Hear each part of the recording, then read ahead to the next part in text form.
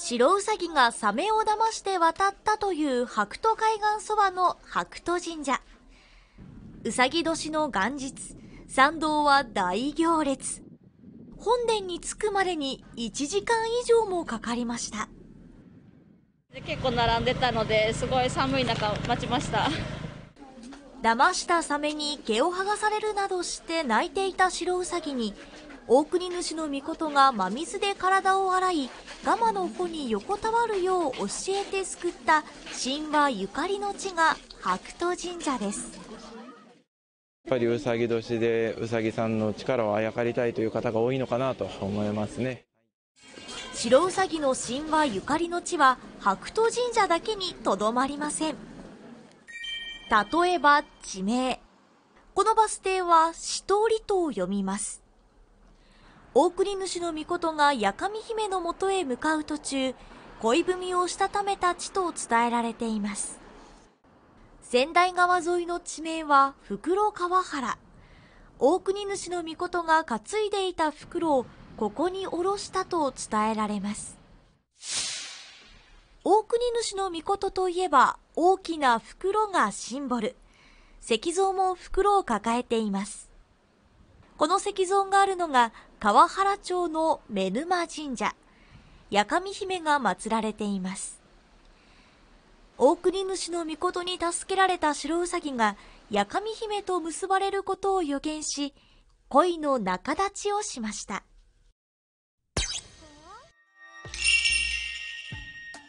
あら、うさぎ、あのお方はどなたです？ああ、あのお方は大国主の御事と申しまして、古事記の神話を現代風のアニメにして盛り上げている鳥取商工会議所。白兎神社は有名でも、目沼神社など、八上姫の物語については。まあ、地元の人間でも、まあ、知っていない人がいるっていうようなことがあったりするんで、もっとこれを機会に、えー、全国、えー、いろんな人に、えー、この八上姫っていう存在、えー、稲葉の白うさぎっていう伝説をもっともっと広めていけたらなというふうに思ってます。野菜のビーツをもとに鮮やかなピンクに仕上げたカレー。鳥取生まれの話題の商品もこのアニメとコラボしパッケージにあしらいました。白うさぎが取り持った日本最古のラブストーリーがピンクの商品と一体化しました。恋のピンクカレーということで、お二人でカップルでぜひ召し上がっていただきたいと思いまして企画いたしました。ここまでがよく知られた稲葉の白うさぎ。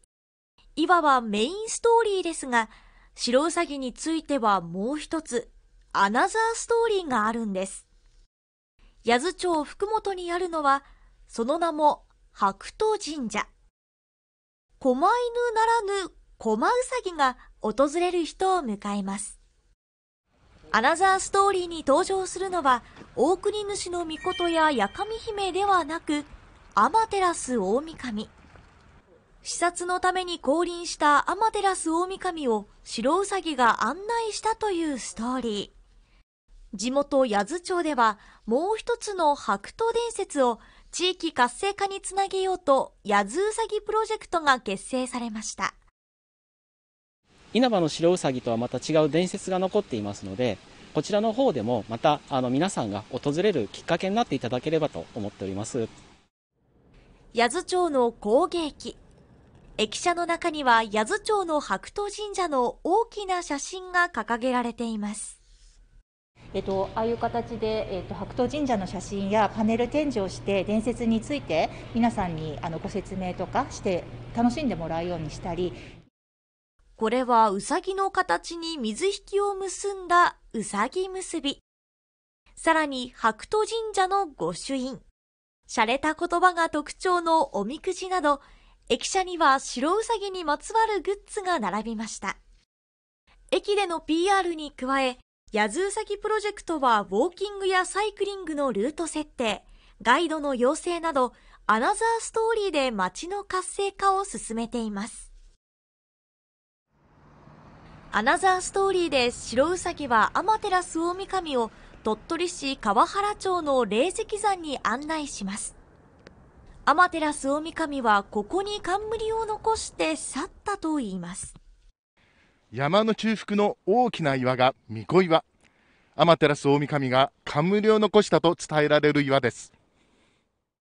アナザーストーリーの八頭町とメインストーリーの川原町は、霊石山の南の谷筋でつながっている位置関係で、二つのストーリーには実は何か関係があるのかもしれません。これまでも観光資源として生かされてきた白うさぎの伝説。うさぎ年の今年、さらに幅を広げて地域の活性化につなげようと、様々な取り組みが進められています。